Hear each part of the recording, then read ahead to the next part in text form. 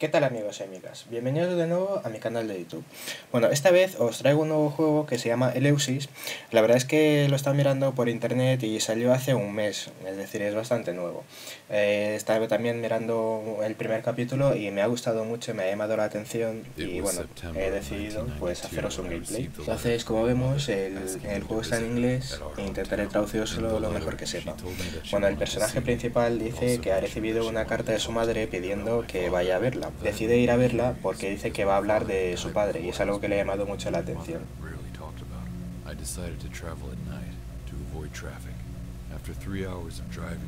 Entonces, bueno, decide viajar por la noche y bueno, aquí vemos pues al personaje conducir hacia la carretera, dice que aún le queda mucho tiempo Como veréis, a pesar de que he subido el vídeo en Full HD, el juego no está en Full HD más que nada porque, bueno, aquí como veis se va a llevar una leche.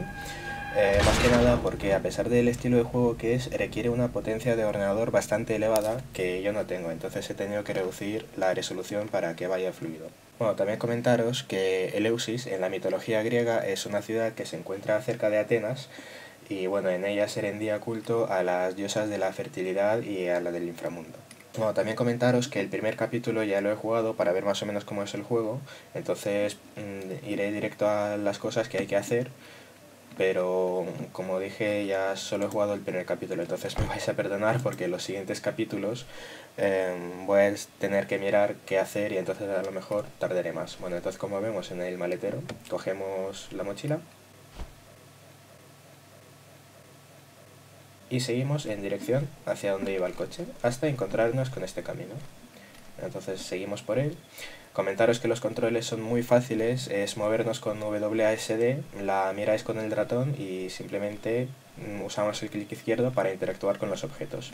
También tenemos eh, la tecla de mayúsculas para correr, la tecla de control para agacharnos, y al coger la mochila nos han dicho que podemos usar la letra I para el inventario, la J para el diario y la F para la linterna.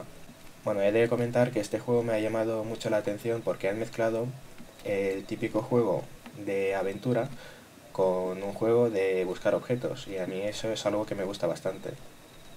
También me ha llamado la atención eh, la ambientación del propio juego es decir, así un poquito de mitología, como veréis todo el juego es así oscuro, o eso supongo, entonces eso le da un toque de misterio. Bueno, aquí oímos unos lobos, ya sabéis, suscribíos que se nos comen.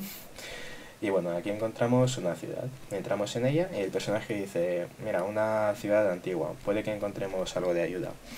Eh, si probamos con todas las puertas, todas están cerradas, así que no nos queda más remedio que seguir por este callejón de aquí adelante. Entonces vamos y nos encontramos con una placeta. Como veremos ha habido un poco de bronca y vaya, ¿qué es esto? Pues un bote de tomateroto. Oímos que una chica nos pide ayuda y dice que hay que ir a la entrada de la ciudad. Bueno, entonces vamos corriendo. Y oímos unos golpes en esta casa. Entonces ahí está la chica que, oh, que dice que la han encerrado ahí y nos está pidiendo ayuda. Entonces al preguntar qué ha pasado y dónde está la llave, pues dice que se la han llevado y que uno de los hombres pues salirse dijo in vino veritas y que espera que es algo que tenga sentido para nosotros. Y al preguntarle por qué la han encerrado ahí, la chica se niega a contestarnos y simplemente insiste en que la ayudemos y en cuanto la saquemos de ahí, pues nos explicará todo. Entonces tenemos que ir a buscar unos objetos. Eh, bueno, en vino veritas es una frase latina que significa en el vino está la verdad. Eh, la verdad es que solo jugando el primer capítulo pues no lo relaciono con nada pero bueno supongo que más adelante pues ya le veremos sentido entonces yendo al final del callejón de la placeta pues nos encontramos con una verja como veréis, el juego tiene guardado automático, no, o sea, no tiene un botón específico para guardar, va a medida de checkpoints. Bueno, entonces aquí encontramos un sótano. Para abrir esta puerta es imprescindible que nos agachemos. Es así de chulo el juego. Entonces, al entrar al sótano, encontramos un generador. Y al intentar interactuar con él, pues dice que necesita gasolina.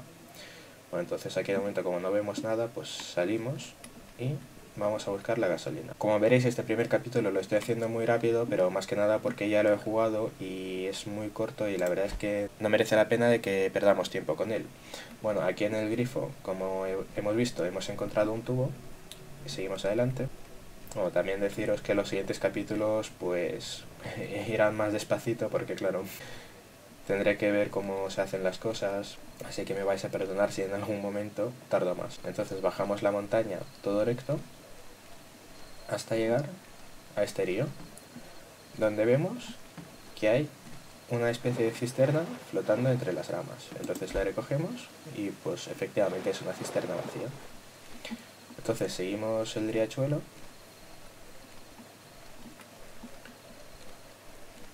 hasta encontrarnos con este camino. Lo vamos subiendo hasta ver un segundo camino a nuestra derecha.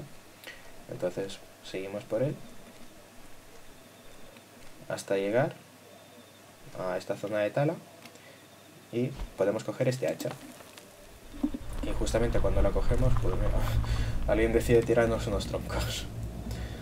Pero bueno, eh, la primera vez que jugué subí enseguida, pero no había nadie. O sea, no os molestéis porque no vais a ver a nadie. Entonces vamos siguiendo el caminito. Eh, como veis, estoy corriendo en este juego, pero no os aconsejo hacerlo en juegos de este tipo más que nada, porque podéis obviar detalles de algún objeto. Bueno, entonces aquí llegamos a la moto. Y al abrir el depósito, pues dice que tiene algo de gasolina. Entonces, muy simple, abrimos el inventario y a la antigua usanza. Un tubo al depósito y chupamos algo de gasolina.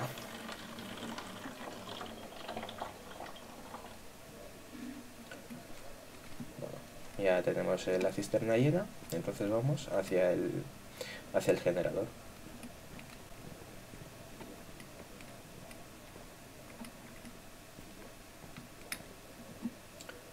Lo mismo, nos agachamos para entrar, seleccionamos la gasolina del, del inventario y llenamos el depósito.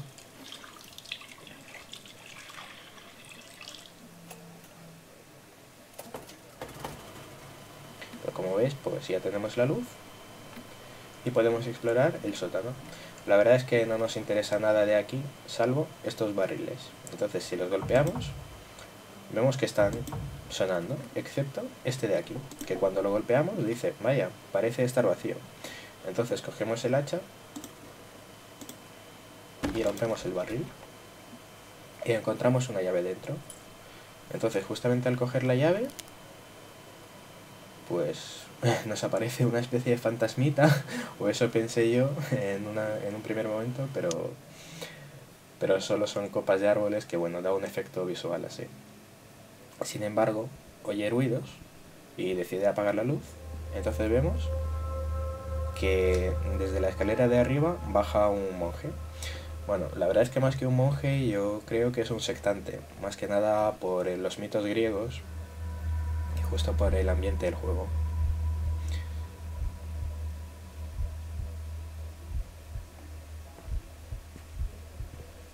Entonces bueno, en cuanto se va, pues el personaje principal pues dice que será mejor irnos.